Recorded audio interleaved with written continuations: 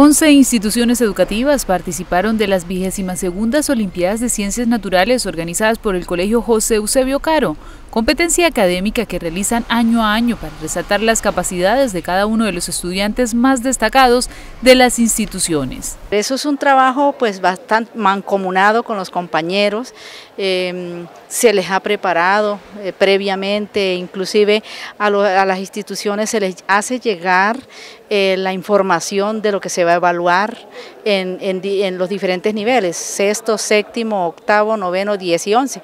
Ellos ya saben para que se vayan preparando previamente y venirse a presentar a la institución. La convocatoria se realiza a todas las instituciones educativas de Ocaña y la provincia con el objetivo de que envíen a sus estudiantes. No obstante, algunas de ellas por diferentes circunstancias no lo hacen, por lo que la invitación se extiende para que el próximo año realicen esta jornada de interés institucional y personal. Yo considero que es una importancia eh, pues bastante grande porque mm, por un lado se están preparando ellos en el, en, el área de ciencias naturales.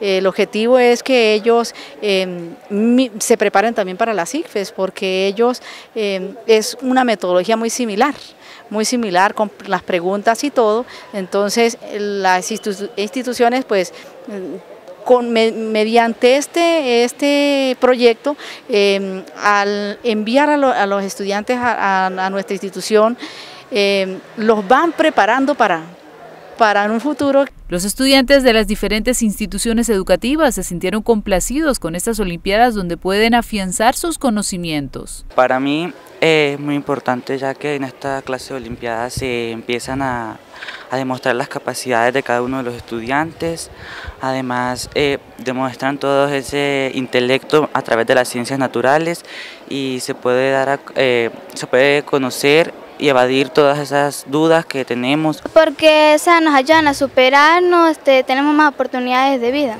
Estos estudiantes tuvieron una previa preparación gracias a la organización de las directivas del Colegio Caro. Ha sido bastante intensa en el sentido de que hemos pasado por bastantes temas y hemos ido estudiando bastante, preparándonos bastante para poder obtener unos buenos resultados. Pues bien, a mí me dieron los, los temas con tiempo y o sea, tuve tiempo de estudiar y repasar algunos temas.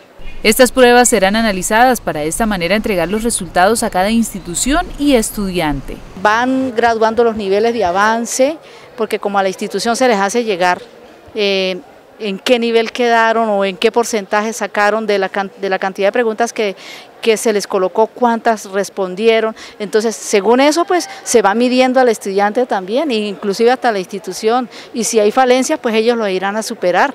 El Colegio José Eusebio Caro se ha destacado año a año por realizar estas Olimpiadas de Ciencias Naturales. En el 2018 es la versión número 22.